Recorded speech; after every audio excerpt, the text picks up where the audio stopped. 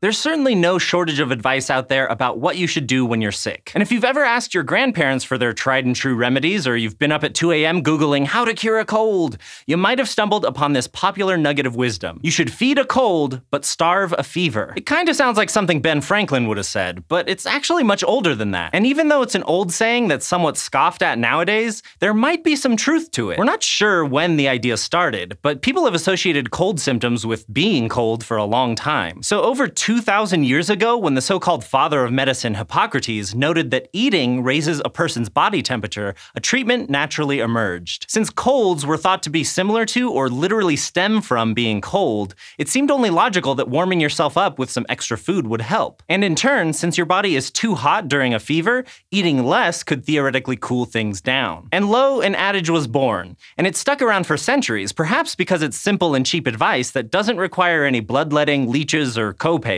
You can find it in medieval medical texts, and when fevers and colds reached epidemic levels in 19th century England, it was the remedy of choice. This advice wasn't just popular in Europe either. There's a similar proverb from India that also recommends fasting when you're sick. But it seems like in all that time, nobody really tested the idea. It wasn't until 1942 that the validity of feeding a cold, starving a fever was formally questioned. And while the author of that paper didn't do any new science, he did at least ponder things deliberately to arrive at his, eh, sounds sounds good to me conclusion. To his credit, at the time, doctors still didn't know exactly what caused colds.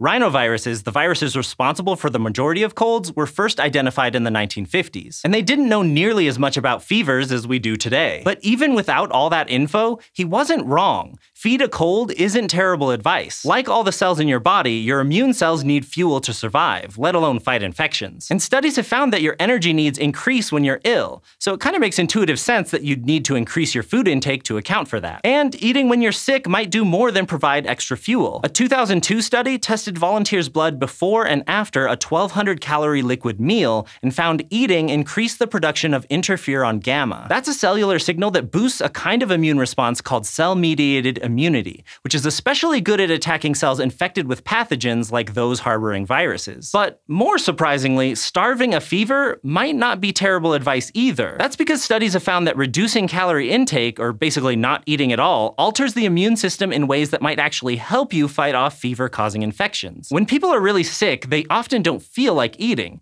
and some scientists now think that loss of appetite is beneficial. A review paper from 1997 concluded that fasting during an infection can actually help the body fight fight it off, in spite of the whole calories needed for cells thing. And that 2002 study found that subjects given water instead of food produce more of a different cellular signal, interleukin 4. It helps activate a different kind of immune response called humoral immunity, which is especially good against pathogens that can be detected more directly, such as bacteria. Fasting has also been shown to increase the body's resistance to stress and toxins, like the ones produced by some bacteria. And ultimately, that may mean that whether you should eat more or less when sick may depend on what you're infected with, kind of lines up with the whole feed colds but starve fevers thing. This has even been shown directly in a 2016 study in mice. Researchers found that extra food helped the mice fight the flu virus, but it made a bacterial infection much worse. So if you think of colds as referring to viral infections and fevers as bacterial infections, then the whole feed a cold, starve a fever thing actually kind of works, at least for mice. Similar studies would need to be done in people and on lots of different viruses and bacteria to see if the pattern holds. And there's another catch.